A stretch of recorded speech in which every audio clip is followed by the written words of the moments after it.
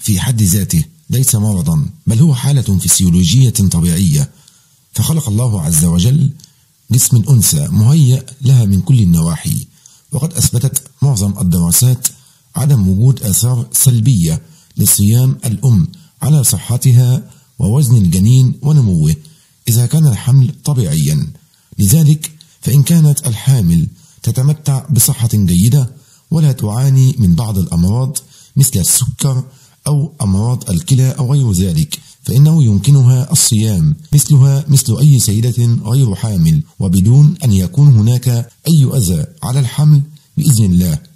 فالجنين يصله غذاؤه كاملا عن طريق دم الأم بغض النظر إذا كانت الأم في حالة صيام أم لا. فإن كانت الأم صائمة فإن التغذية للجنين سوف تتوفر عن طريق مخازن جسمها فتخرج من هذه المخازن المواد الأساسية اللازمة لنمو الجنين ثم تمر عن طريق الدم إلى المشيمة وبسهولة فتؤمن له حاجته الكاملة ونحن نشبه الجنين بالطفيلي أي أنه يتغذى على حساب الآخرين. لذلك في حالة الصيام سوف تكون الأم هي الصائمة بينما الجنين لا يصوم.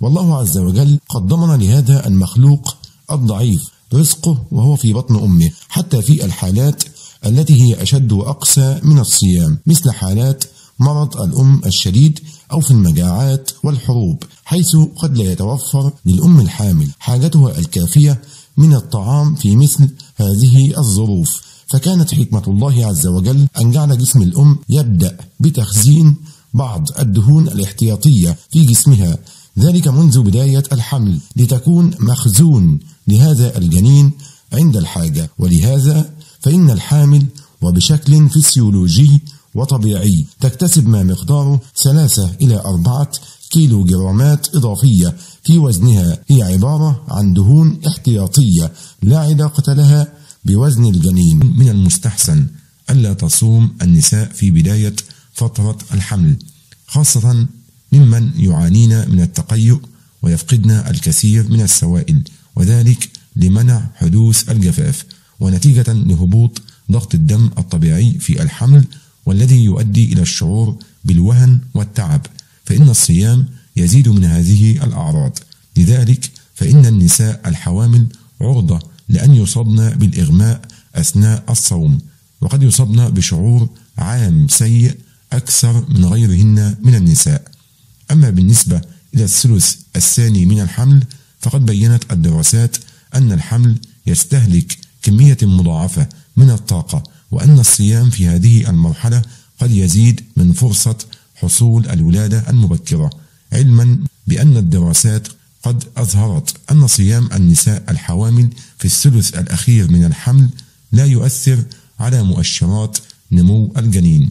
ومن المحبذ ألا تصوم الحامل في رمضان إذا كانت من المعرضات لخطر كبير مثل اللواتي يعانين من مضاعفات الحمل مثل داء السكر أو ارتفاع ضغط الدم. ولا تنصح النساء اللواتي يعانين من المخاض المبكر في الحمل الحالي أو عانين منه في حمل سابق بالصيام. كما أن النساء اللواتي يتناولن أدوية مهمة بعدة أوقات في اليوم ولا نقصد تناول الفيتامينات والحديد التي يمكن أخذها بعد الإفطار. قومي باستشارة الطبيب في حال قرر الطبيب بأنه يتوجب عليك الامتناع عن الصيام فعليك هنا الالتزام بالتعليمات. وإذا كنت حاملا وتستطيعين الصوم فهكذا تهيئين نفسك له بالتقليل من أي خطر أو تعب عليك وعلى الجنين. أولا من المستحسن أن تكثري من شرب المياه قبل يوم أي في وجبة الإفطار والسحور من بداية فترة الصيام. كما ينبغي أن تقللي من استهلاك الكافيين والسيوفيدين التي تتواجد في القهوة والشاي العادي والكاكاو والمشروبات الغازية وأكثري من شرب المياه بما يعادل من 10 إلى 12 كوب من الماء يوميا حتى تتيحي لجسمك أن يخزن السوائل ويفضل أن تتجنبي المشروبات المحلاة أو المالحة ولا ينصح بشرب كميات كبيرة من الماء عند السحور. فالشرب قد يسبب ألم في البطن وقد يسبب حدوث التقيؤ وقد يؤدي الصوم إلى تعجيل موعد الولادة. وهناك عدد من النظريات التي تفسر هذه الظاهرة.